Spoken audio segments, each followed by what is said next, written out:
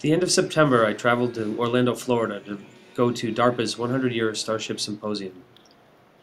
DARPA is asking the question of where is the future of space exploration and what can we do now to push technologies and ideas so that generations from now could people go to other stars.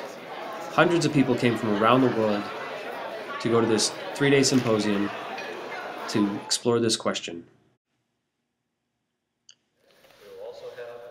Dave Neyland, who you see here from DARPA, the Defense Advanced Research Project Agency, and Pete Worden, the head of the NASA Ames Research Center, have spent the last year pursuing this question with experts from a variety of fields, everything from physics to film, on how to advance this idea, how to figure out what we can do now to make interstellar travel a reality somewhere down the road, beyond our own lifetimes.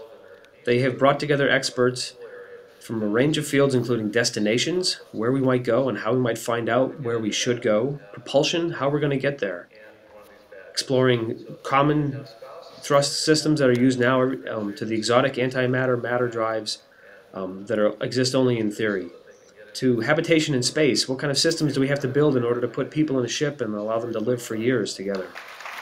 They even brought in exciting speakers like George Whitesides, the CEO of Virgin Galactic, the first private space travel company.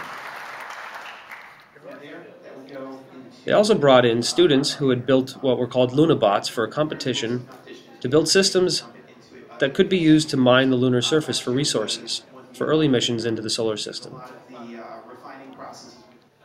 There were science fiction panel, panels, multiple panels of science fiction writers, to discuss what had become reality from fiction in the past and what might become reality in the future.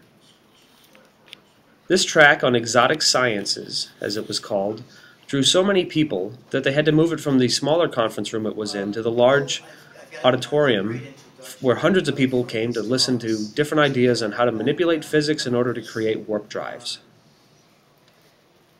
Why the quantum vacuum? It has some. There was a lot of discussion about the people. How would they live? What would they do? How could you keep them occupied? Would they be generational ships? Would they be one-way trips? And this fellow was actually looking for volunteers for his idea on a one-way trip to Mars.